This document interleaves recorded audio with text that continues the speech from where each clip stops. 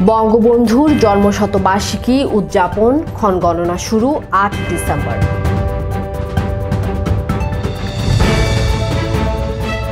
সুন্দরবনে দস্যুদের যারা আশ্রয় দিয়েছে, শিগগিরই তাদের বিরুদ্ধে ব্যবস্থা, বললেন স্বরাষ্ট্রমন্ত্রী।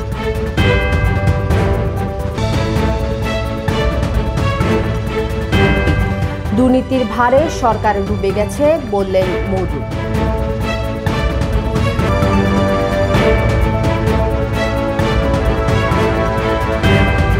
নিয়ন্ত্রণে আসেনি, পেঁয়াজের বাজার বেড়েছে রসুনের দাম।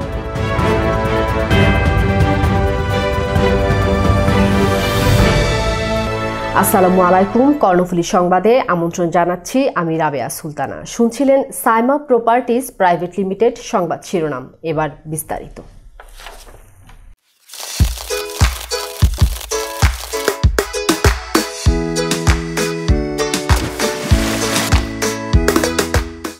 সাইমা সুপার শপ, সাশ্রয়ী মূল্যে সর্বোত্তম পণ্য।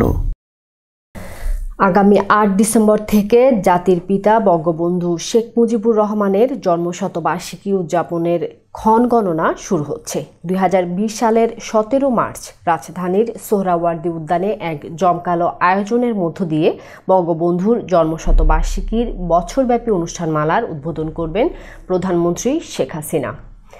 সন্ধ্যায় গণভবনে উদযাপন কমিটির বৈঠকে এই সিদ্ধান্ত হয়। সভায় সভাপতিত্ব করেন আওয়ামী লীগের সভাপতি ও প্রধানমন্ত্রী শেখ হাসিনা। এ সময় জন্মশতবার্ষিকীর বছরব্যাপী আয়োজনের বিস্তারিত তুলে ধরেন কমিটির সমন্বয়ক কালাম আব্দুল নাসের চৌধুরী। এছাড়াও সবাই সাবেক অর্থমন্ত্রী আবুল মাল আব্দুল মুহিত, সেতুমন্ত্রী ওবায়দুল কাদের, তথ্যমন্ত্রী হাসান মাহমুদ, মুক্তিযুদ্ধ বিষয়ক মন্ত্রী আ ক ম মোজাম্মেল হকসহ শততম জন্মবার্ষিকী উদযাপন কমিটি সংশ্লিষ্টরা উপস্থিত ছিলেন। সুন্দরবনে দস্যুদের যারা আশ্রয় দিয়েছে, শিগগিরই তাদের বিরুদ্ধে ব্যবস্থা নেওয়া হবে বলে জানিয়েছেন স্বরাষ্ট্রমন্ত্রী আসাদুজ্জামান খান। দুপুরে বাগেরহাটে সুন্দরবন দস্যুমুক্ত ঘোষণার এক বছর পূর্তি অনুষ্ঠানে এ কথা বলেন তিনি। স্বরাষ্ট্রমন্ত্রী সুন্দরবনের দস্যু পৃষ্ঠপোষকদের দ্রুত আত্মসমর্পণের আহ্বান জানান। এদিকে সুন্দরবনে আবারও দস্যুতায় জড়িয়ে পড়লে কঠোর ব্যবস্থা নেওয়া হবে বলে সতর্ক করেছেন জ ই মহাপরিচালক বেনজির আহমেদ। সাবেক দস্যু বাহিনীর সদস্যদের আটষট্টিটি মামলা দ্রুত নিষ্পত্তিরও তাগিদ দেন তিনি। আরও কিছু প্রয়োজন হয়, বলছে যে তাহলেও তোমরা তাদেরকে ব্যবস্থা করে তাদের স্বাভাবিক জীবনে তারা কাজ করতে পারে।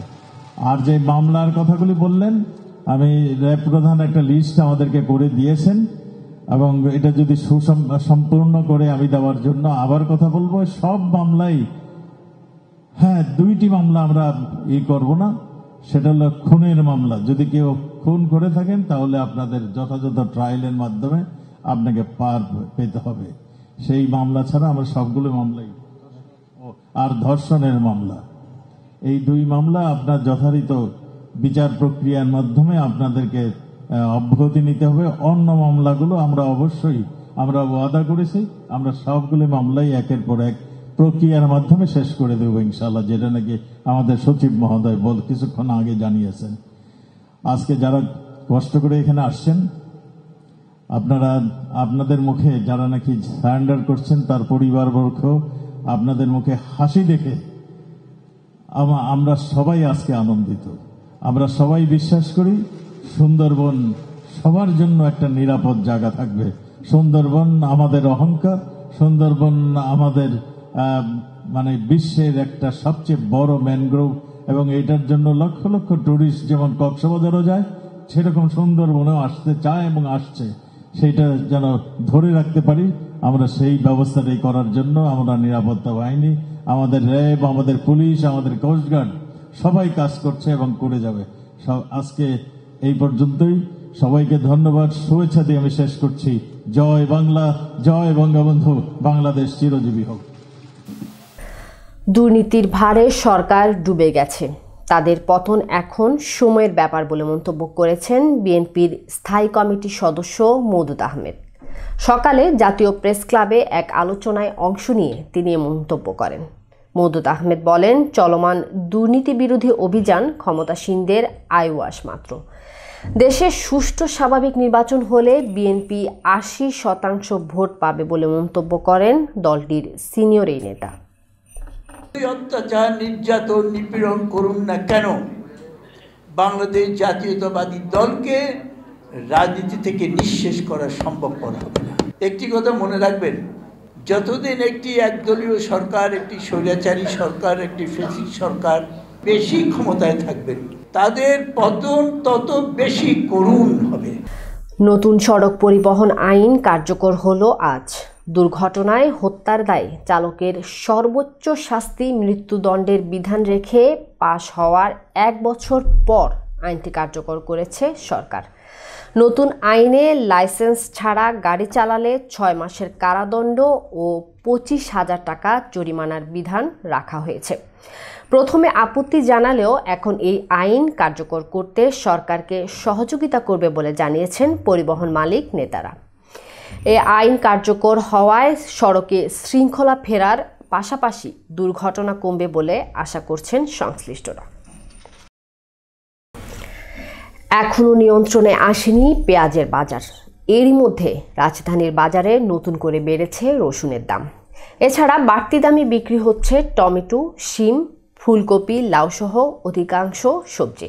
নিত্যপণ্যের দামের এমন ঊর্ধ্বগতিতে ক্ষুব্ধ ক্রেতারা।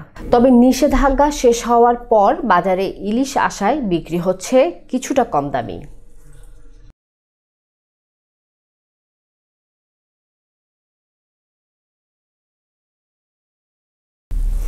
দর্শক, কর্ণফুলী সংবাদের এই পর্যায়ে নিচে ছোট্ট একটা বিরতি। ফিরছে একটু পরেই, সাথেই থাকুন।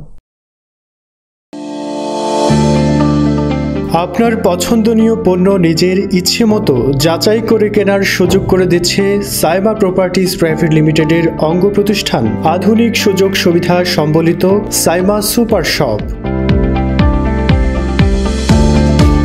নিত্য প্রয়োজনীয় সকল পণ্যই একই ছাদের নিচে পেতে আজই চলে আসুন সাইমা সুপার শপে।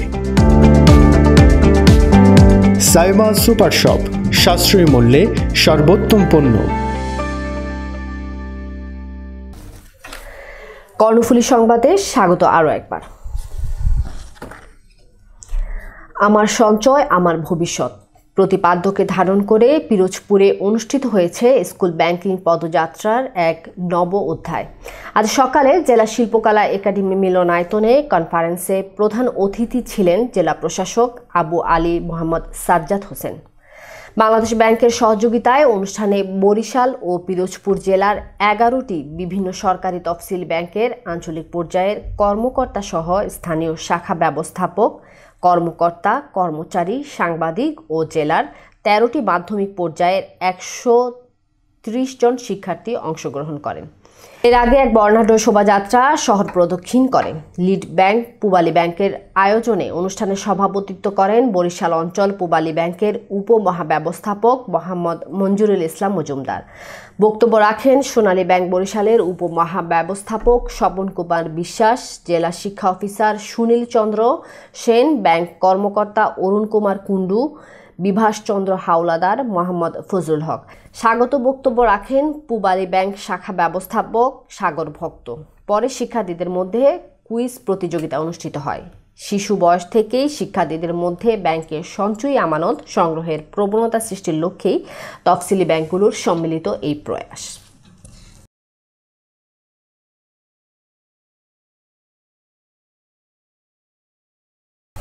এবার আন্তর্জাতিক প্রসঙ্গ।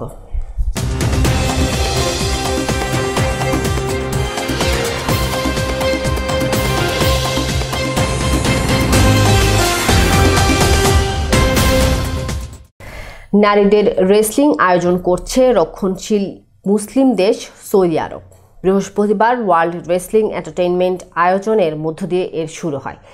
এদিন রাজধানী রিয়াদের কিং ফাহাদ স্টেডিয়ামে আয়োজিত এই লড়াইয়ে অন্যদের সঙ্গে অংশ নেন ডব্লিউডব্লিউ তারকা লেসি ইভান্স ও Natalie.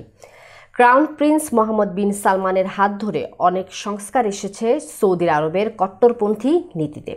তারই ধারাবাহিকতায় এবার দেশটিতে প্রথমবারের মতো অনুষ্ঠিত হয় নারীদের রেসলিং এবার খেলা সংবাদ।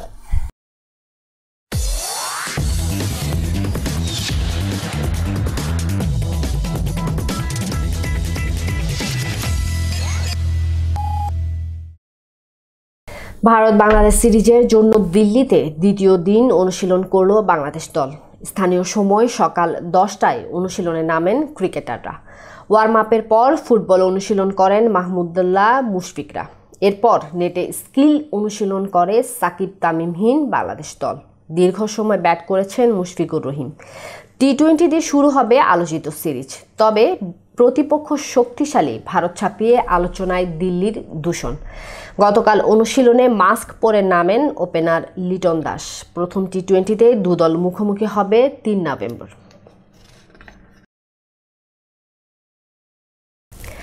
সংবাদ শেষ করব, তার আগে শিরোনামগুলো দেখে নিচ্ছি আরও একবার। বঙ্গবন্ধুর জন্মশতবার্ষিকী উদযাপন ক্ষণগণনা শুরু আট ডিসেম্বর।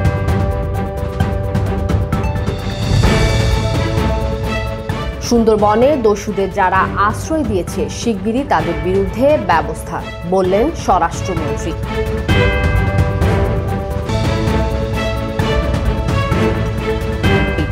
দুর্নীতির ভারে সরকার ডুবে গেছে, বললেন মৌদুদ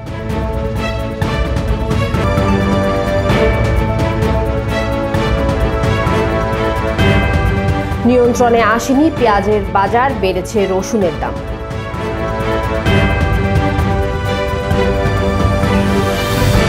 শেষ করছি কর্ণফুলী সংবাদ। প্রতিদিন রাতে আমাদের সংবাদ দেখার আমন্ত্রণ রইল। ধন্যবাদ সবাইকে।